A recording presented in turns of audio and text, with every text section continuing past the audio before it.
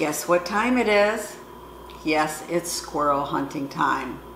So, my husband bagged two squirrels yesterday, and today I'm going to be making some squirrel stew. And I thought you'd want to see how easy it is to make it in case you hunt squirrels or somebody in your family does. You know what? It is a great skill to learn hunting. But when I talk about squirrels and eating squirrels now, I always think of Daryl on The Walking Dead. And for those of you that saw the show, you'll know what I mean. But squirrel is a sweeter meat. Um, actually, it's kind of amazing for the amount of meat on a little animal, or little rodent, as many people call them. But it's something that is very prolific where I live. We live in the woods, and there are a lot of squirrels.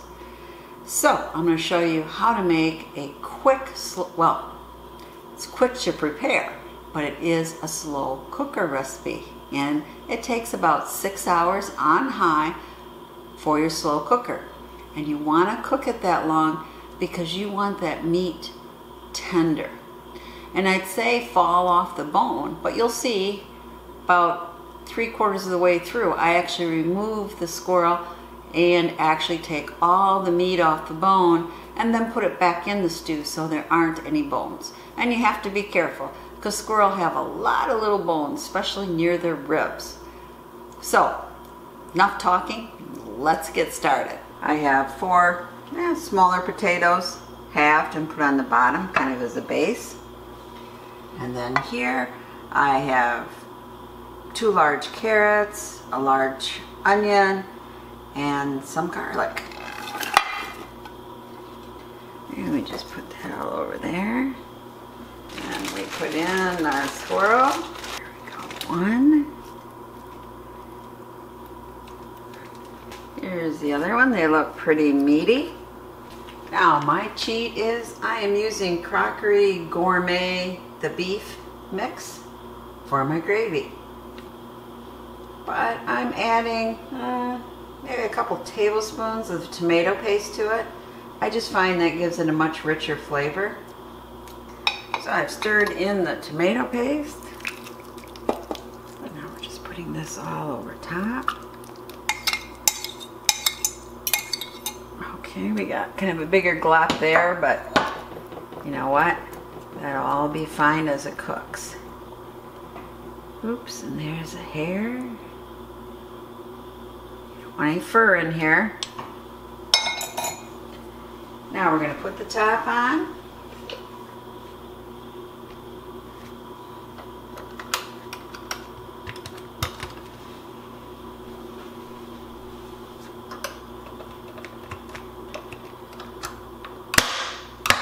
Now we're going to turn it on and we are going to select manual and high. And it's going to cook for at least six hours. It's been five hours in the crock pot. I'm now taking off the squirrel and I'm going to separate all the meat from it. Well, here's the bones. And as you can see, there's quite a bit of meat on just two squirrels. Now the bones I put back outside on the edge of our yard and possums, coyotes, whatever can enjoy what's left that I didn't get out. But the easiest way to pick this meat is let it cool off a bit and do it with your fingers. You gotta be careful because squirrel has a lot of little bones by the rib cage. So I got the top off and now we're gonna pop this meat back in. And we're gonna cook it another hour or so. Just make sure it absorbs all this good juices and gravy. And of course, by taking the top off, it takes time again to get back up to the high heat.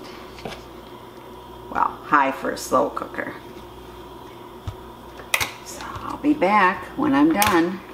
But it, let me tell you, it's smelling mighty good been six hours. It smells good. Check it here.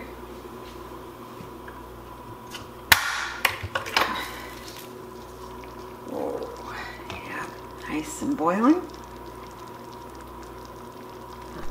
Get you over a little more. Doesn't that look good? Let's dish it up. Look at that rich gravy. We got potatoes and we got onions and carrots and some yummy sweet squirrels. So let's see how my husband likes it.